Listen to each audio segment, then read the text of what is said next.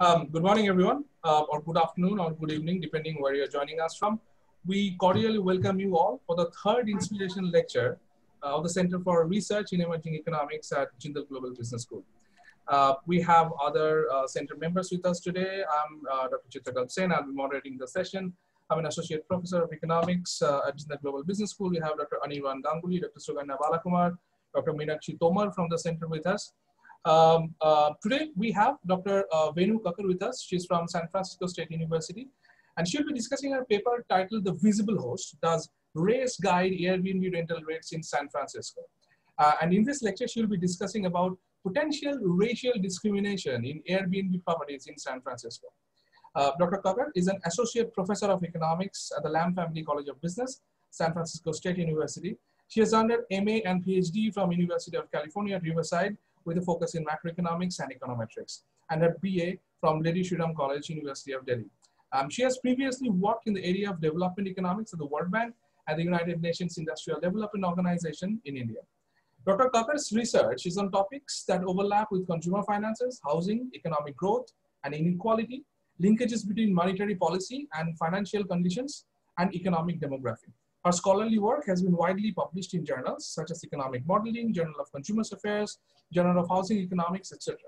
She has also been interviewed about her research on Marketplace Weekend, a popular show on National Public Radio, and her work has been uh, disseminated in prestigious outlets such as the Journalist Resource of Harvard Kennedy School and the National Affairs magazine. She teaches courses in macroeconomics, econometrics, and forecasting, and more recently, she has started the Big Data Summer Program at SFSU. Uh, so without taking uh, more time, I would invite uh, Dr. Kakar to start with her presentation. Dr. Kakar, the stage is all yours now. And uh, you know, before we begin, you know, for the uh, attendees, you know, just uh, you know, a couple of you know, housekeeping, simple housekeeping rules. Just keep your mic muted. Please make sure that your mic is not turned on at any point of time, and you keep your webcams off. If you have any question at any point of time, you can share those in the chat box, and we will at the end of the lecture, we will take those questions. Okay, and uh, thank you very much. Thank you, Dr. Kakar. Sorry for interrupting you. It's all yours. Thank you, Dr. Sen, for this very kind introduction and uh, for this invitation and for organizing all of this. Um, can everyone see my screen? Yes. Yes, we can. Okay, so um, as, as Dr. Sen just mentioned, my talk is on the visible host, does race guide Airbnb rental rates in San Francisco. Uh, this is joint work with my former students, uh, Joel Bowles, Julia Vu, and Julissa Franco uh, of San Francisco State University. And this was, uh, you know, this, this uh, topic and this uh, research is close to my heart because it was uh, my first paper with uh, my graduate students and it was started in one of my econometrics classes. Um, so very happy to present this. Um, I plan to speak for about 35 to 40 minutes. And, uh, you know, in case there are any burning questions, uh, any clarifying questions, you can write to Dr. Sen and uh, he can ask that uh, on your behalf. Uh, any open-ended questions can be left for the end. Um, so uh, with that, uh, let me motivate my talk by showing you this really famous cartoon that was uh, published or that was ran by the New Yorker in July of 1993. Um, and it features two dogs, as you can see, one sitting on, on a computer surfing the web uh, and telling the other, on the internet, nobody knows you're a dog, right? And so this cartoon has been reproduced um, so many times since then. And uh, while it was ahead of its time in 1993, uh, because the internet was still evolving, um, you know, it, with the evolution of the World Wide Web, uh, it did tell us that the internet is a place where people can get, uh, can get an anonymity uh, or can be anonymous. So what have we seen since then? Of course, uh, with anonymous e-commerce, um, which was internet enabled uh, and was a growing market, um, this, this created a lot of opportunities. And in the United States alone, uh, about $343 billion uh, worth of sales um, was, was contributed by just anonymous e-commerce, okay? And so there are studies, many, many different studies that talked about how uh, being anonymous on the internet and transacting or making business transactions actually reduced uh, discrimination. Okay, and so Zettelmeyer's study that I mentioned here actually looked at the automobile market. But since then, we have seen that there is this personalization in e-commerce that has taken place. And so that's a recent trend, and it, it has been a growing sub-area or growing niche of uh, uh, e-commerce. And it's also called peer-to-peer e-commerce. You might have come across this term. And there are many different websites that uh, uh, transact or, or that uh, uh, contribute to this marketplace. So there's eBay and Craigslist in the United States. That's UX. But this was the cartoon that I was talking about, the two dogs talking to each other. Um, and you know, one saying to the other that on the internet, nobody knows you're a dog. And so it's basically talking about the fact that the internet uh, was a place where people could be anonymous. And so this anonymity um, reduced transaction discrimination. There were studies talking about that. A Zettelmeyer study talked about uh, this type of reduced discrimination in the automobile market. Uh, and since then, we've seen this uh, trend in e-commerce, which is called peer-to-peer e-commerce or you know, the personalization in e-commerce, which is, um, uh, you know, examples are websites like eBay and Craigslist that uh, buy or sell used goods or platforms where these types of transactions take place. There's Etsy, which was more recently listed in the uh, top 500 companies in the United States uh, by market cap. Uh, and this was trading in crafts. There's TaskRabbit, very similar to uh, UrbanClap that we have in India, uh, which is uh, for services. And then there's Airbnb and many other companies, but Airbnb being a, a dominant player in the room rental markets, marketplace. So all of these websites have something in common um, that buyers and sellers uh, usually would post biographical information. Uh, and so when you transact uh, at this on this website, you can discern the race, the gender, and many other different uh, characteristics of the party through images, uh, videos, audios, etc. So the intent of, of this uh, type of personalization is that uh, buyers and sellers, they're strangers, and so this transaction becomes more palatable and it facilitates, uh, facilitates trust, it decreases uh, any type of purchase risk that's associated with the transaction, and just gives you a personalized experience. But then there's this unintended consequence, which is that now the transaction becomes less anonymous and it's more like a face-to-face uh, transaction, uh, business transaction, uh, much like what you would experience at a brick and mortar store where discrimination becomes possible. So our study is really rooted in this idea.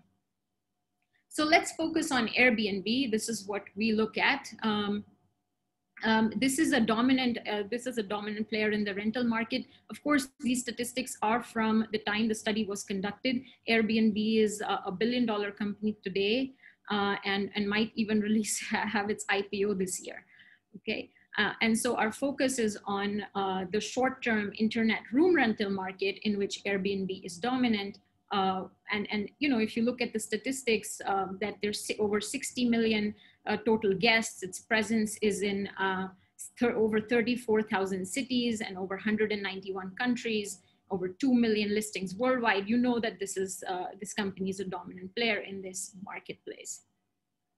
And so all of these statistics tell us that this is comparable to major hotel chains like uh, the Intercontinental, the Marriott, etc. So our main question was then, what are the effects of having biographical information like the host race, gender, sexual orientation, uh, even couple status on Airbnb price listings. And in particular, we look at San Francisco. We, I mean, I teach at San Francisco. My students were uh, interested in San Francisco, and we'll talk about why we chose San Francisco um, uh, for other reasons.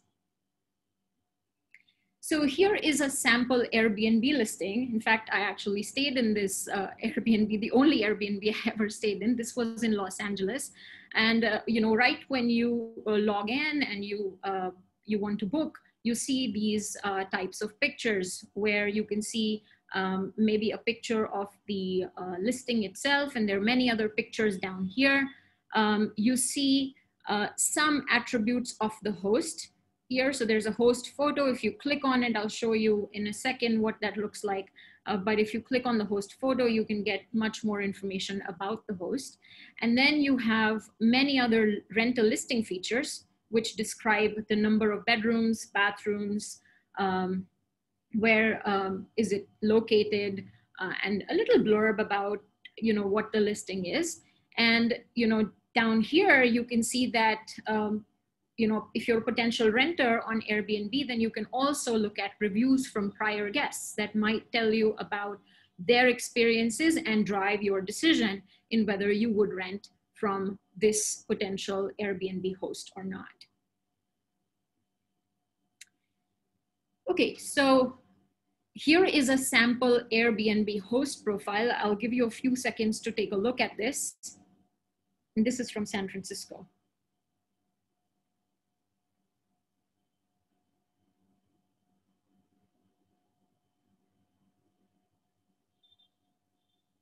So notice here that this is Doug's uh, Airbnb host profile.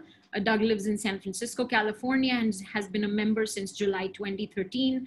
Um, Doug talks about, uh, you know, how long uh, he's lived in San Francisco and uh, where this is, uh, where this Airbnb listing is located. Uh, it he talks about his partner Richard. So you know from here that he's in a domestic partnership. You can talk about, you know, we can infer that uh, this is a couple. And uh, we also know about their hobbies, like they're foodies and wine enthusiasts, etc. We also can see how many reviews they have. So there's 152 reviews over here that you can read, and also that they have verified um, social media pages. So this is a sample Airbnb uh, host profile that we draw our data from. This is just one of the data sources. So let me talk about you know, where in the broad literature uh, on housing discrimination our study fits in. So there are three areas that I'll talk about.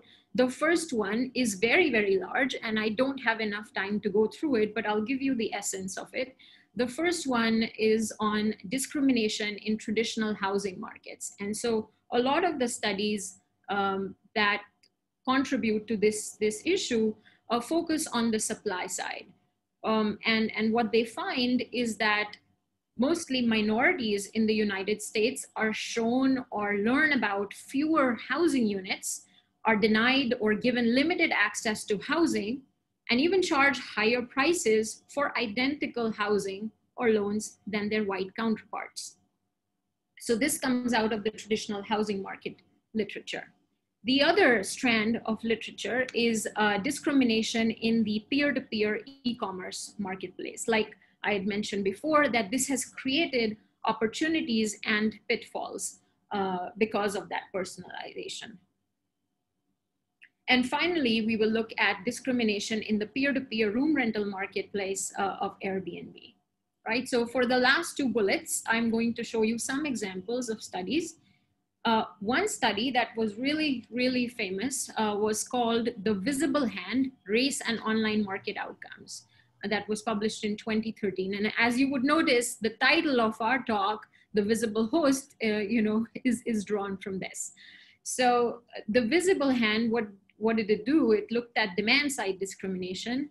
Uh, in, in the study, the authors posted online classified ads um, for selling iPod Nanos on hundreds and hundreds of local U US websites. Okay, so here you see um, uh, these uh, ads and you know with that they were posted with pictures and I'll talk about that in a second but their main question was what is the effect of the seller's skin color on outcomes like bid price of the iPod, iPod Nano and so like you can see, ads featured a dark versus light skinned hand, um, a wrist tattoo as well uh, on a white hand. Uh, whereas, uh, you know, all of, all of the other characteristics of the iPod Nano remained fixed, okay? And so what did the study find? The study found that black sellers received 13% fewer responses and lower offers than white sellers. And uh, you know, quantitatively, the effects were similar for sellers that had a tattoo on their hand versus those without. So again, this is showing you uh, that for the same iPod, uh, you had different bid prices. Another study um, uh, that was called What's in a Picture uh, looked at the effect of loan applicants' personal information um, including a picture on their acceptance rate for, for a loan in the peer-to-peer lending site called prosper.com. So again, you know, when a potential applicant uh, is, uh, is uh, transacting on prosper.com, they had to put up their picture and this picture could tell um, someone who's a lender about the race, the gender, the age, uh, and all of these different attributes about the applicant. And so that affected the likelihood of receiving the funding and also the interest rate that was charged on the loan. Okay, so what this study found was that Black applicants had a 30% lower chance of getting funded versus their white counterparts, right, for the same exact uh, application. And then interest rates offered to Black applicants were in fact 60 to 80 basis points higher than white counterparts with similar credit profiles. So again, this is showing you um, potential discrimination. Okay, so let's turn to Airbnb and, uh, you know, the first study that was done on Airbnb and looking at this type of an issue was in New York City. And so they were testing for racial discrimination against Airbnb hosts in New York City. Uh, and so just like I'd shown you before, you have the host profile page and you can infer the race of the host um, either through their photo or their name or other things that they list or talk about in their in their blurb. So they looked at, uh, they, they tried to ask, you know, the same type of question, is there any effect of, of race on Airbnb listing prices? And their controls included all of what a potential renter would see on the Airbnb uh, host profile or on, on that platform. And so their um, results indicated that prices of Airbnb listings of non-Black hosts are approximately 12% higher than Black hosts. So you can imagine that this is going to create some disparities in revenues that hosts can accumulate. So our study builds on this and we look at the San Francisco market, which has a very different racial composition than New York City. Um, we look at all racial groups, Asian, Hispanic, Black, whites, and other uh, groups that we couldn't characterize. We look at other attributes like gender, sexual orientation, uh, couple status, uh, etc., that could have an effect on price. And we also, you know, uh, to, to make our uh, set of variables that affect prices richer, we add a lot of neighborhood uh, controls. So things like real estate values, like price per square foot, you know, where your Airbnb is located in the city, area demographics, which tells you about uh, the percentage of Asian population in your area or white population in your area, things like that. Um, incomes, median incomes in your neighborhood, things like that. And then we, we control for occupancy rates, which can also drive prices. So you can imagine that, you know, if you're a, a, a host, then your decision to list a price is also dependent on your past occupancy uh, for that listing. So in which uh, case, you know, if your occupancy is low, then, uh, then you would, uh, the price is gonna be lower. And we also offer alternative explanations for the differences uh, that we observe uh, in prices across racial groups. And so the, uh, I think there's this one really famous New York City study and then uh, motivated from that study was another study that was done in Oakland, which is a city uh, northeast of, uh, of San Francisco, in which and they employed a similar methodology, but looked at really a, a neighborhood in, in Oakland, which was racially balanced. And again found that there were price differences of at least 20% uh, between Asian and white hosts. So Asian hosts were receiving 20% less, or at least price their units 20% less than whites for similar listings. And so our studies focused on the entire San Francisco market and we look at all neighborhoods. So let me finish the liter literature review here uh, by talking about a Finnish study. So this uh, study was conducted in Finland where um, the authors uh, did a qualitative or did qualitative interviews with Airbnb hosts. And uh, the question that was asked was, what are your motivations for hosting uh, on Airbnb? So as you would imagine, one um, direct uh, motivation is economic, right? So this, if you're a host on Airbnb and you rent out uh, your uh, a room or um, you know an, an, entire apartment, that gives you supplemental income.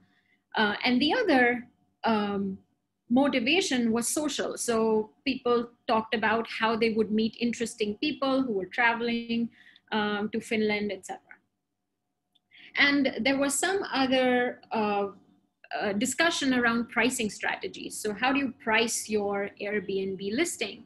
And so uh, the results or the findings from here was that you price high to attract professionals or avoid problematic guests. Um, so let's say there's a fair price and you you know you have a plus delta on top of that which is the premiums you're pricing higher or you're pricing lower to maximize the pool of potential guests to choose from um, that can help you maybe maximize occupancy so they, this suggests there are, that there are several alternative explanations to racial discrimination uh, uh, for price listing differences. So let me talk about uh, the data that we used. So here is a map of San Francisco and our data, a lot of our data comes from Inside Airbnb, which is a third party website. This is not affiliated with Airbnb in any way, uh, but does collect uh, data on listings, prices, and many other types of features like room type, uh, etc. So we looked at San Francisco, right? You can see that filter here that we applied back in 2015 when we started this study. This was, um, this gave us 6,361 listings in total. Okay, and here you can see on the map itself, there are these red dots, which signify that all of these listings were actually entire homes or apartments that were rented out. So about 57, 58% of um, entire listings were uh, in this area. Okay, and then you have um, these green dots, which are um, private rooms. So people uh, can rent out a private room. This included a bathroom uh, for most people. Okay, and and then the blue dots which are really few, maybe more uh, in areas that are tourist attractions, uh, are shared rooms, okay? And so what we did after this was that we applied certain filters and we had selected from this sample minimum listings that had a minimum of five reviews, a verified ID and picture, because that was what we were interested in, and, and then generated a neighborhood weighted. So let's take a look here. Um, there are, um, you know, what we get in the end is uh, about 800 listings and each host uh, listing was manually examined. And I have to give kudos to my students here because they did this uh, painstakingly. Uh, you know, this was a tedious process to generate uh, and identify the host race, gender, uh, single or couple status, sexual orientation. They looked at each listing and they generated it um, uh, this data. Let me talk about you know, how important neighborhood values are in San Francisco. It, it is a city that is the most expensive cities in the world to live in. But then again, if you look at different neighborhoods, uh, it really makes a difference of where, uh, what the values are. Uh, some very expensive neighborhoods tend to be residential and that are very expensive tend to be in um, near tourist attraction. And so here we see that there is a big range in property values uh, if you if you measure in uh, measure that in dollars per square feet. Um, the most inexpensive areas would be $644 per square foot. And then the other, uh, the richest ones, like here you see the financial distri district in dark orange, uh, are uh, to the tune of $1,548 per square feet. Okay, so where the Airbnb listing is would matter for the price. That's the point I'm trying to make. And so here's another um, uh, map which shows you Airbnb sample distribution by neighborhood and race. So there are all these different neighborhoods and you can see that the blue dots are Airbnb listings by uh, whites. Okay, so uh, that's for whites and then orange dots are for blacks and green for Hispanics. I know it's a little hard to see, but, um, and then uh, red for Asians. Okay, just to kind of give you an idea that, you know, the, the white um, Airbnb sample, sample sorry, oversampled.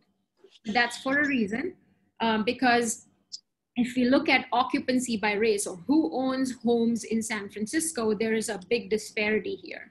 So um, the light blue tells you owner occupied housing units. And you can see that for whites, you know, they own about 50, more over 50% of, of these housing units, followed by Asians, Hispanics, Blacks, and other races. Okay, so if we were just making a point about this, we would say that lower, there's a lower likelihood of being an Airbnb host among Hispanics and Blacks versus Asian and whites due to a lower uh, percentage of owner occupied housing. And so here we can see um, two pie charts. The one on the right is telling you what is the San Francisco demographic like, right? So San Francisco is about 42% white. This is the 2010 census. This is the, the one we have, right? There's a 2020 census that is just happening, uh, election year. Um, there's 42%, this is 42% white, 34% Asian, 15% uh, Hispanic, and 6% Black, and then 3.2% other. But when we look at our sampled Airbnb listings, as you, you saw in that map just now, uh, most of those uh, listings are 74% are by whites, okay, and so on and so forth. So we don't, we, we obviously know that these don't have to match up. This is all because of who owns the house or houses in San Francisco. So let's ask this question then to put everything together. What determines listing prices on Airbnb? So if you really, if we really had to come up with five broad uh, categories, we would say that uh, rental listing features, which, which are things like the number of bedrooms, bathrooms, the unit type, whether are you renting out a whole apartment or a private room or a shared room, um, the number of guests you are uh, accommodating, social media profiles, all of these other things, your cancellation policies, all of these things would drive uh, prices. And what we were interested in was host characteristics. So, you know, this was again a data set that was curated by my students. Like I said, um, this would give us information on the host race, gender, couple status, um, sexual orientation, uh, etc. We can also imagine that user reviews that are posted on the Airbnb host page uh, also play a role in prices. So somebody who's reviewed uh, or listing that is reviewed highly might uh, be more expensive. And so we have a lot of information on this from inside Airbnb uh, on overall, overall reviews, reviews for cleanliness, communication by the host, and also um, on something known as uh, superhost. So Airbnb classifies hosts uh, uh, into superhosts uh, if they have reached key hospitality goals that reflect the host experience and dedication, right? So you, you have that type of a dummy uh, in, in your model as well. And uh, number four, we have a, a rich set of neighborhood characteristics. So we know the average cost per square foot, um, depending on which neighborhood the listing is located in. Um, we know the median income and uh, we can also control for racial demographics looking at the census data. So we do that. And finally, we control for occupancy rates. And here we look at the average monthly occupancy rate because we think that might drive um, our, our main variable of interest, which is the price per day uh, per unit of that listing. So, you know, for those who are interested in, you know, how we are doing this, the major part of this uh, research was really the data collection, right? This part was easy, what I'm showing you here. We simply take the prices, we log that and we regress it on all of these different set of um, controls, rental, rental listing features, host features, user reviews, neighborhood characteristics, and occupancy rates. So if you're interested, you can go to the paper and look at this busy table, uh, but this describes exactly all of the variables under each heading that we had and how we manipulated it and where we got it from. So we had five sources of data inside Airbnb, the host's profile, which was manu manually cre created. There was Trulia that we used for uh, neighborhood um, real estate values and the US Census. And finally, you know, when, when we were at that stage of trying to publish this work, um, the referees really wanted us to look at occupancy and we actually had to purchase this data. This was the only thing we spent on really apart from our time, uh, which was going to AirDNA and actually buying that data because this wasn't available anywhere. So, you know, when we were doing this, uh, you know, when we had all of this data and we were doing this exploratory analysis, uh, we found something very interesting. We created these bar charts uh, that told us about or that, uh, that described average listing price by race by the type of unit here. So um, the colors tell you whether it's a private room, a studio, a one bedroom or a two bedroom. But just for the heck of it, let's try to just look at the dark green bars, which are uh, the prices of two bedrooms or the, um, not the price, but the average listing price on Airbnb per day uh, for two bedrooms. And then the panels here show you uh, whether these are, uh, what the prices are by race. So the first panel is for whites. Uh, and you can see this is, this price is just a little um, less than $300. And for Asians, uh, this is a little over $250. And for Hispanics, it's again shy of $200. So so again, you, you know, here just eyeballing, you know that there is something going on, but we wanted to understand uh, it with all of those rich set of controls. Uh, when we looked at um, our data, uh, we found that the average price per night uh, was $203. This is, uh, you know, for 2015 data that we are looking at. $203 uh, per night, but there's a big range. So, you, you know, the because our sample listings contain uh, listings that were uh, shared rooms versus listings that were entire apartments, there was a big range here. So you could uh, rent out for $40 a night versus, you know, the maximum was $1,250 a night. Big range there. And the majority of units, uh, like we saw, uh, close to 70% were whole apartments that were rented out. The average number of bedrooms was one, accommodating about two to three guests, and about 22% of hosts in our sample were super hosts, right? So they had met that hospitality uh, benchmark. And the average occupancy rate was 69%. Right? You can imagine San Francisco is a popular destination for tourists, so this would be high uh, all year round. In fact, these reach 100, close to 100% uh, during Christmas time. So when we look at our model, we basically do different regression iterations. Um, and I, will just describe this uh, in a very non-technical way. What we are trying to do is understand how much of all these variables that we have can explain the variation in prices, okay? So our first model, which is um, very conservative, is just looking at rental unit features and host race. And so these together can explain about 66% of the variation in price. And as we add different uh, variables like additional host, as you, as you add these different variables that I talked about, you know, we achieve uh, greater success. We are able to explain about 81% of the variation in prices based on all of the uh, variables that we had.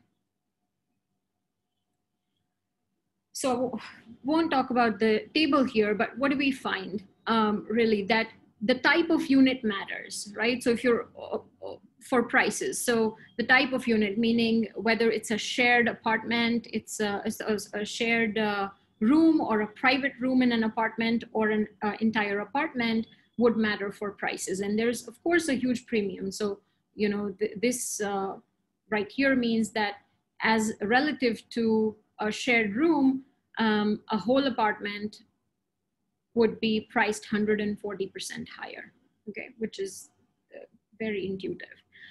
Um, the minimum number of nights of stay is significant and that affects price negatively, but uh, you know, this is uh, not, in, in terms of magnitude, isn't very high.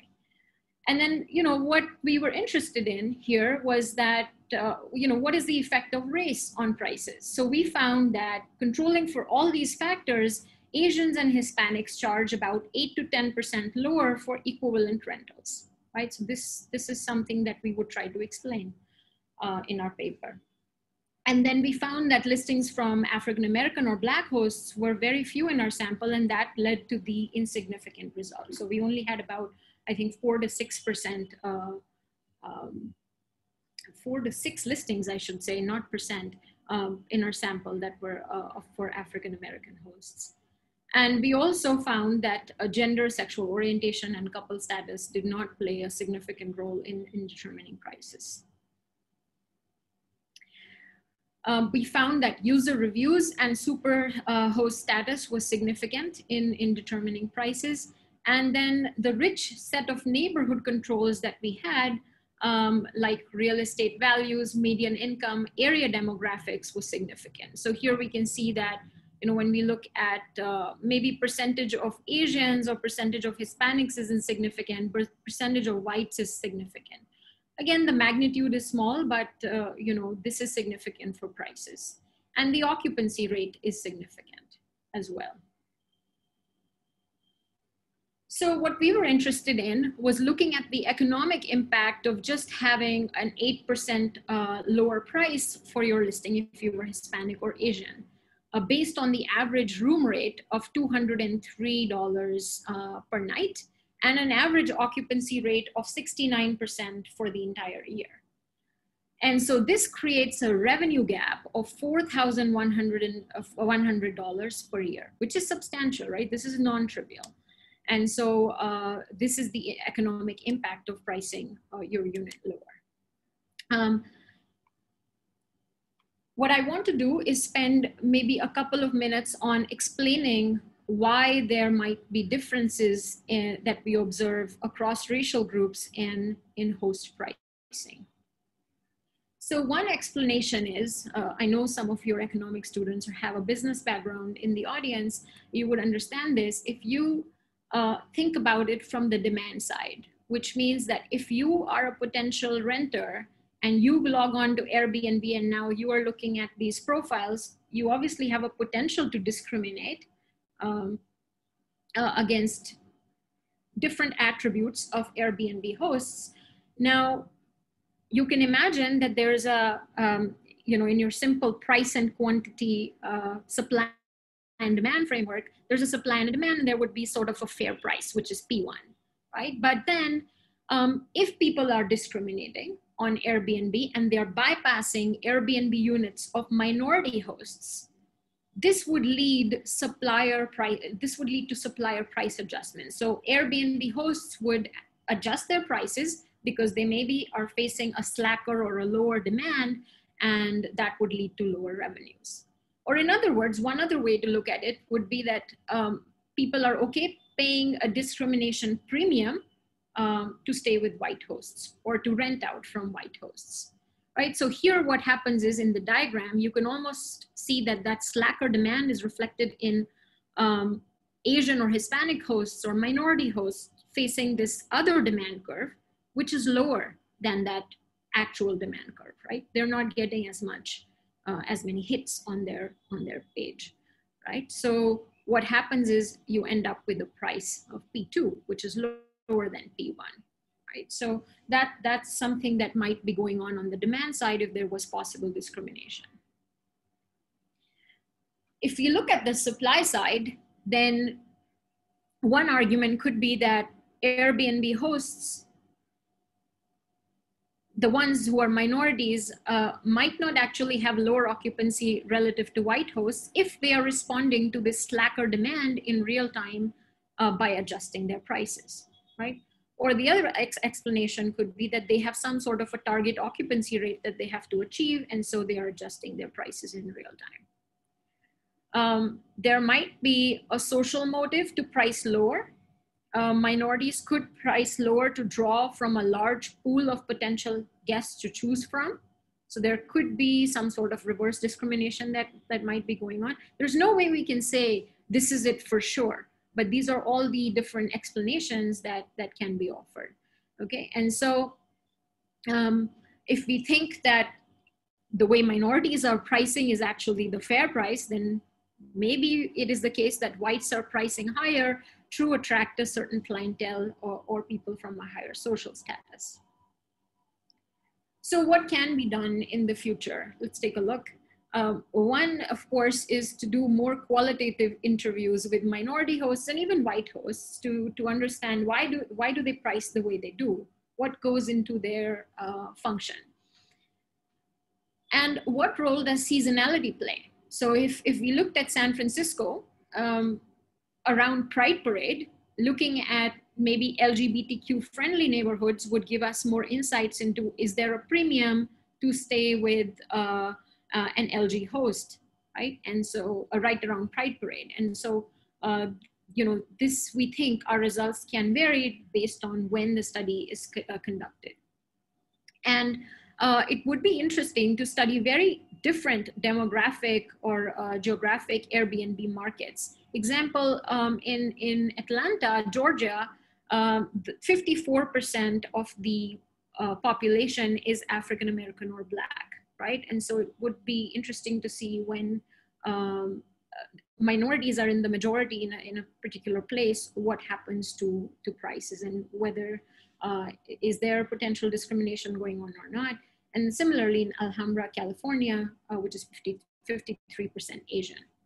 And also in India, right? So I was, yesterday I was just looking at the, the Airbnb um, website in India and you know, you have the same thing. You have uh, names that are listed of Airbnb hosts. You have, uh, you can uh, uh, see if religion or caste or other things play a role uh, in influencing prices.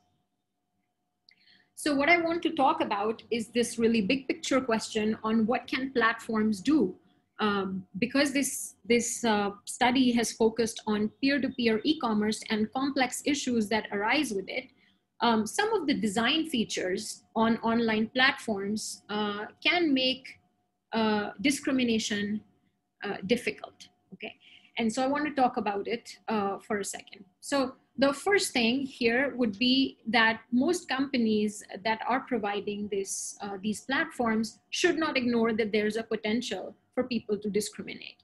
Uh, platforms should know and publish the racial and gender composition or other characteristics of their transaction participants. And also measure um, each group's success or failure on the platform, okay? uh, to, uh, to see whether you know everyone's uh, benefiting from the platform.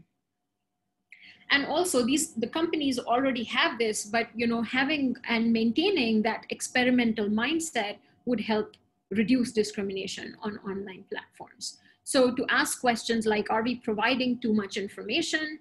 Uh, how prominent should that information be? So you know, for example, earlier you could see the Airbnb host profile, you know, just by click on clicking on it, you have this whole thing that's blown up, you know, on your computer screen. Is that necessary? Can we maybe highlight uh, user reviews or guest reviews that that uh, tell us more about the experience uh, of, of guests uh, at, at that unit?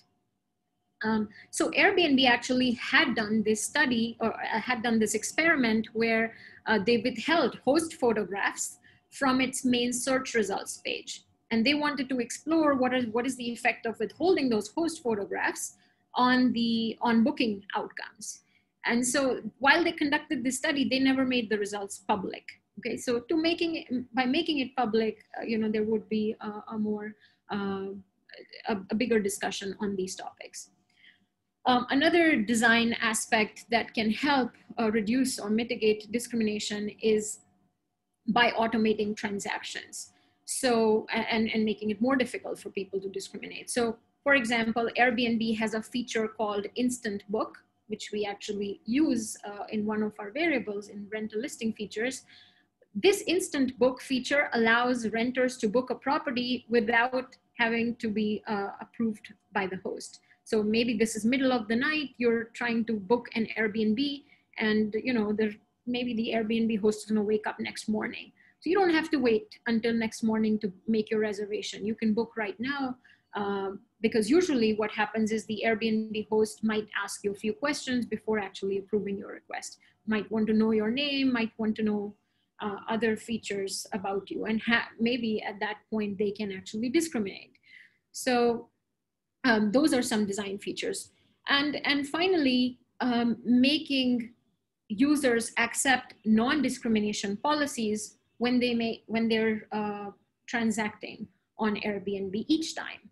Okay, so usually what, what happens is that you log on as a guest uh, or as a renter on Airbnb and you have to sign this non-discrimination agreement, which looks like this.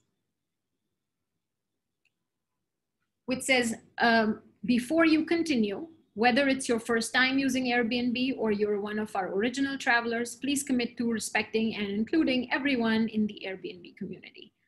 I agree to treat everyone in the Airbnb community, regardless of their race, religion, national origin, ethnicity, disability, sex, gender identity, sexual orientation, or age with respect and without judgment or bias. And so you have to accept or decline.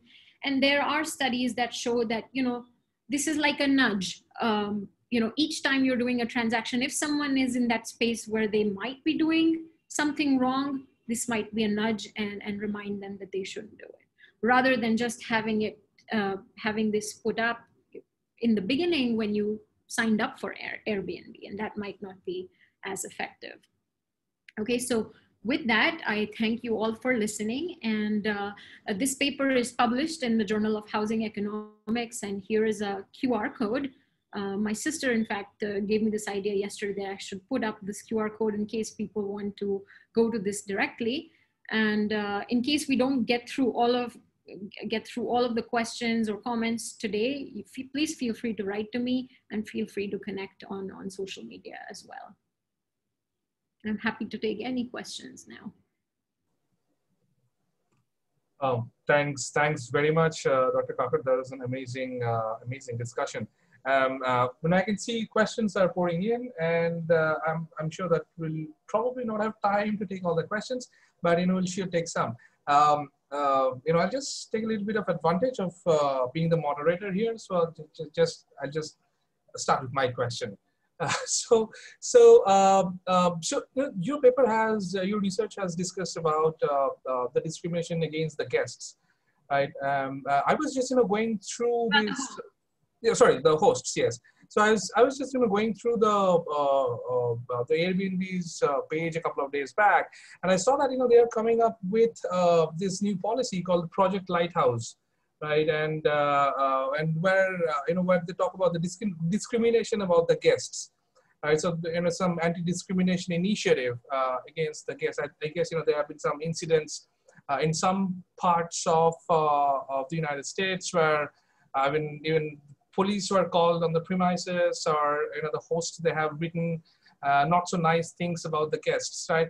So uh, i mean uh, uh do you think that uh, i mean that is that is also another sort of problem. So how um, how can that be addressed? So what do you think yeah, I'm, I'm glad that you asked this because I, I purposefully didn't touch upon that uh, that side of discrimination, you know, where uh, hosts are actually discriminating against potential guests. Yes. And uh, and and this this there is a study. In fact, the same authors, uh, Luca and Edelman, who who yeah. did the New York study, uh, wrote a paper on this where they experimented with sending emails to hosts. Yeah uh, with white sounding or uh, black sounding names and it's the exact same email right about inquiring about an airbnb um, a potential uh, listing, uh, a potential unit. And they, they found that uh, black hosts, sorry, black renters, I should say black renters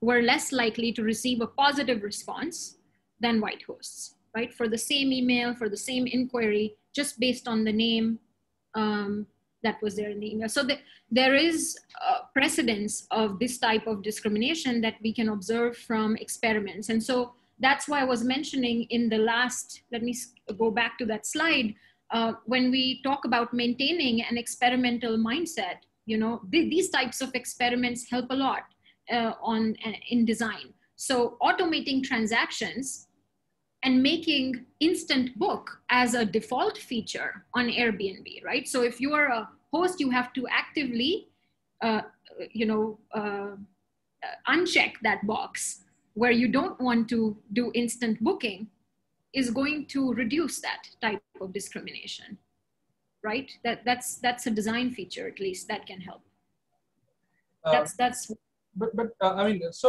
so uh, i mean uh, I, I just can't you know stop thinking about it right? So right now what is going on all over the world uh, uh, about racial discrimination is a big thing. It's probably the biggest issue that you have apart from you know other political issues. Uh, so, you know, this kind of findings, you know, it can, you know, if, of course, I mean, so, uh, this can really, really hurt the company that, you know, the hosts are being, there is a possibility that hosts are being discriminated against or the guests are being discriminated against, right? So uh, uh, what would be your policy recommendation apart from, you know, the, what Airbnb is doing right now? What can be a good way to minimize these discriminations? I think the biggest thing that uh, I would say, I, I, you know, I don't mean to speak about Airbnb in a bad space here. I think Airbnb is a platform, and I think since this study was published, even the New York uh, City study was published, um, they have made uh, a very good effort to create an anti-discrimination unit. They have uh, made um, uh, made sure that they are that they are hiring a very diverse uh, uh, workforce because only if you hire a very diverse workforce would you be able to understand the you know you would be able to make your platform uh, serve everyone. So that you know if you look at since you you've been on their website you know that they are publishing um, statistics on you know how many uh, african americans or how many hispanic uh, folks are there in their managerial position or how many are engineers how many women are they employing in different positions. So they are you know that's one step i think employing a diverse works, work workforce and even publishing uh, those statistics which most tech companies fail to do. I'm yet to see google try to do that or some other tech big tech companies do that. Airbnb is already doing that. They've set up an anti-discrimination unit and uh, they are experimenting with different features and they're not you know um, opposed to this experimental mindset um, so I think this is, in terms of policy recommendations, all comes from experiments. And while, you know, with the type of discrimination that you were talking about, uh, which is, you know, much easier to say that that is discrimination, what we are inferring is these price differences that, uh, that exist, right? And so we can offer different explanations, but, and we can only say this is potentially discrimination. We don't know for sure or what's going on so keep you know keeping on that uh, keep you know keep going on that research and keeping uh, um, your eyes open uh, and, and just uh, doing this data analysis uh, would, would help thanks uh, thanks dr Atul. thanks a lot um, so i'll just take some questions from our students so the first question is from our mba student amit pandey and he asks, Amit asks, what are the legal reasons that a host can reject a prospective guest? Also, can a prospective guest sue the host for discrimination in federal or state court? Uh, Amit, you you asked a difficult question. I I don't. So I you know I was uh, very close to having a slide up on litigation and legal issues uh, in my presentation today, but I purposefully um, uh, ignored that. And and here is a question on it. Airbnb does not have um, does not have to worry about uh, discrimination lawsuits. It's a third party And I think the Housing Discrimination Act of 1968 protects Airbnb in some ways. I don't know the fine print of it because I'm not an, a corporate lawyer, but I know that whenever this comes up in the news, you know, someone's uh, suing Airbnb for this or that, um, you know, it's a third party, and uh, this is not what they can do. What what Airbnb can do uh, legally is they can tell the host that you're no longer because you did this you are no longer part of Airbnb. You are no longer uh, going to post any profiles and you will not have access to this uh, platform to, to do business. So Airbnb can uh, remove uh, any potential user, whether it's a renter or a host, who is, who is acting um, badly, right? And so whether you're writing nasty reviews or racist comments, you're sending out emails on their platform that are racist, things like that, so that they can do something about it. But as far as you know, suing Airbnb uh, goes, I think they're pretty clear on that. I hope that uh, answers. Thanks, uh, thanks a lot. Uh, next question is from you know, my colleague uh, Dr. Anshu Sharma, and uh, Dr. Sharma asks, you know, do we have data on guests' demography? What kind of guests, white versus other hosts, etc. Yeah, that's a good question, Dr. Sharma. Um, I don't believe uh, we have information on that. I, I can tell you, uh, you know, from the time I rented, uh, the host had asked me for my name. So the only thing I can think about is that a potential host could look you up, you know, based on your name. And if you have a social media profile, they can stalk you and they can figure out who you are. Uh, but as far as you know, um, for studies and for research, we don't have that information. Unfortunately, we don't have that information. Uh, but from the study that I was just describing to Dr. Sen earlier, uh, with the experiment where the names uh, matter, right, for who is being discriminated on the platform, that that that information you have to put in because you you do put in your name at some point when you're booking. Uh, so Dr. Sharma has another follow-up question. Uh, which reads, you know, can we also look at host-guest mapping data to see if price difference is due to race-based discrimination? Uh, so, so say that maybe you can explain that to me. Uh, uh, you know, I, would request if, if Dr. Sharma is here, uh, you can just unmute yourself and ask the question. Sure. Um, hi, Professor Zain. Hi, uh, Professor Kakar. Thank you for a very lovely talk. So, I am from HR area, and this, uh, you know, this title of your paper was very interesting. So I joined up. So I was thinking. So uh, when you were talking about uh, price differences um, in the host and everything, so I was thinking in my mind so is when we are, you know, confirming it that whether it the price difference is due to race-based dis, uh, discrimination. If we have to, you know, um, prove that can we use this host uh, guest mapping in uh, like again the same follow-up question that which hosts are attracting what kind of guests? So if we are able to you know map this data we'll be able to confirm that yes this price difference is actually coming from um, you know a race or any ethnicity background which is at so if if whites are attracting non-whites then i think this price uh, difference is not race-based uh, discrimination, right? So if we are able to prove that or counterintuitive anything, so we have to look at the data of this host and guest mapping. Yeah, I think that's a good point. And I think this is again for the company to release, right? They see all the transactions data, um, you know, and, and more intricate details about this, the, these transactions of which host was declining what, you know, or what request uh, and by whom and things like that. So if we have you know in, in, the utopian world i think your point is well taken because if we are able to map it nothing like it then we know exactly uh, who is uh, renting to who. Yeah. So if we if we are in terms of if we have time like um, or we can connect later. So um, uh, if we are able to look at users of airbnb and we can you know ask them so what uh, the kind of host they have already you know stayed at and we can go you know backwards so if we can see users and what kind of hosts they have stayed in the past maybe um, from, from that, that, that is also a good way of collecting this. Yeah, yeah, absolutely. Yeah, I think qualitative interviews, like I said, would really shed light on on what's going on and what what experiences people share. But there's a lot th- that's on the internet already. I think you know, right. guest reviews. Uh, a lot of it would would uh, would shed light on the issue that you're talking about. But yeah, that that's very insightful. Thank you. Thank you.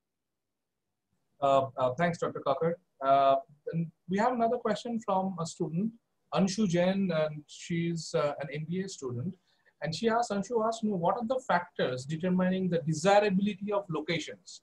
Uh, so, I mean, we had, I had a chat with Anshu about this in a, a couple of days back. Uh, she went through your paper and, you know, what I understand what she means is that, you know, how, how do you quantify the desirability of location? Is it the zip codes or is it, you know, uh, near the bay? How do you do that? Yeah, um, you know, I think, uh, San, uh, you know, I'm, I'm going to speak about San Francisco here. I cannot talk about any other location, but um, for San Francisco, uh, price is a big factor, right? Desirability of location is, is, depending, dependent on how, how much uh, your budget allows you uh, to spend on. And, and so uh, that's one, you know, walkability score, scores or, are available for many, many uh, uh, different uh, places, you know, which, which tells you, is this close to a shopping area? Is this close to a mall? Is this close to a, a tourist destination? Is this close to the local metro? And things like that. So proximity scores, you know, are there. Um, there are, um, what else? Uh, desirability. Yeah, I think walkability and like these, uh, these types of proxies that, you know, that would tell you about, you know, whether you should, safety, I would say, you know, that's another thing. Uh, when you're staying, let's say in downtown San Francisco, not all the neighborhoods are safe. So that might be one of the things that uh, guests might look for maybe in user reviews or maybe even in um, the description that hosts provide uh, where they list exact you know the, you don't actually get the address of the location uh, of the unit uh, when you go on to airbnb. It tells you well we're two blocks away from this place x place uh, or uh, this you know or the embarcadero is two three blocks away things like that or you can catch the you know metro and you can get here in so many minutes things like that. So that would drive desirability of, of the unit. So uh, all these uh, all these aspects i mean uh, how far is it from the metro? How far is it from uh, the shopping district and in the walkability? So uh, uh, are these all like separate indicators or has there been an index you know which kind of gives out the desirability of a location you know which yeah. Kind of yeah, I think there is an index called the walkability score okay, okay. San Francisco that gives you that. It's an index that tells you about how far or the proximity to shopping malls, tourist attractions, and things like that. Okay, thanks. Uh, uh, you know, I know that you're running out of time and it's past midnight in San Francisco. So I'll just take, if you don't mind, uh, in a couple more questions, and after that we can probably wrap up. Sure. Yeah, absolutely. Thanks. Uh, so one one student I can see that uh, it's it has come from a student, but I can see the name.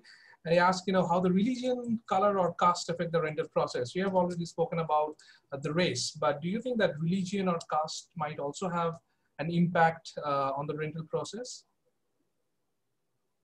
Absolutely. Uh, I, I think that this this remains to be investigated you know and so since you said this this is an mba student i think you should take that on as a project and, and investigate even if it's you know just for a neighborhood and just see what you find um, based on names that can signal religion or um, if people are signaling religion. But again like you know keeping that seasonality in, in mind. So uh, thinking about if it's a muslim name uh, you know what impact would um, religion have right around Eid versus not, things like that. And so that would be interesting to see.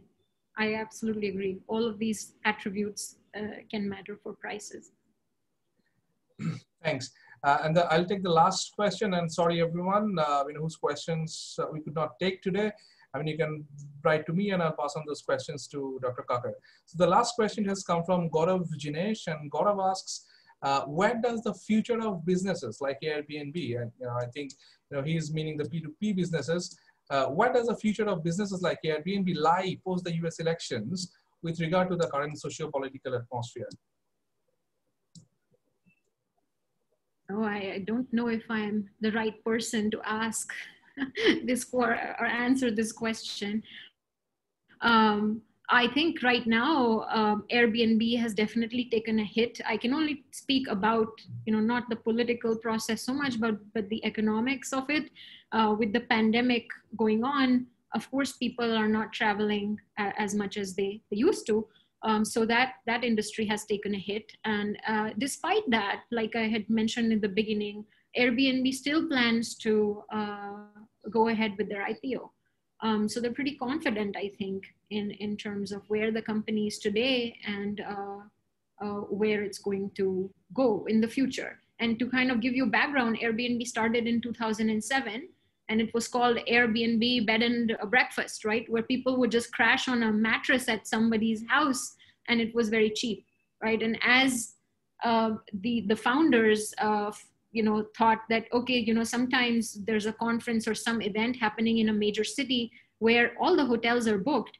Wouldn't it be nice if people just uh, rented out their spaces? And that's how it was formed. So since then we have seen that airbnb has just the growth has been exponential.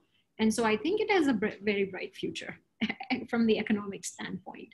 I don't think politics is is going to play a role Okay, uh, so thank you very much for uh, you know being with us today, and uh, notwithstanding the glitches uh, that you had at the beginning, and I mean uh, staying up such late at night, answering patiently every single question that we have thrown at you, and uh, you know I really hope when the world returns to normalcy, when the things become better, then we'll have we'll have uh, you know, the opportunity to host you in the campus where you can meet our students in person, you can interact with other faculties, and uh, I'm keeping my fingers crossed that probably that day is not, uh, uh, I mean, too far in the future. We'll probably be able to host you in campus very soon.